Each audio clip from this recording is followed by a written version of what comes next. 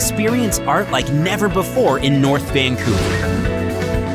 With over 150 public artworks created by local and international artists.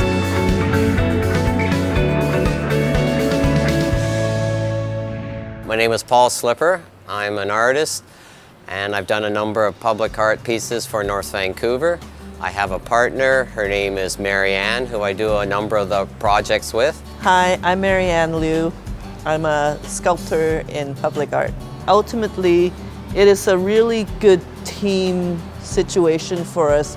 Our ideas jam. Sometimes I'll go, oh, I don't know what to do about this, and then we'll get talking.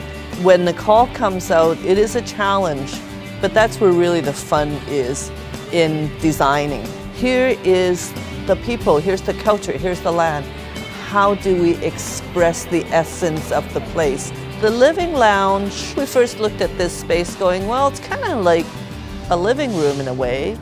And then we kind of took that to an exterior motif. We walked up this morning, there, it's sort of the ultimate compliment for us to the artwork. There was 20 or 30 kids jumping all over the artwork. It was really neat to see that they were engaging with it, they were playing on it, they were, you know, having fun with the artwork. And this is a fun piece, and that was one of the main intentions of this piece. It was an interactive and fun piece, and so that was a really cool thing.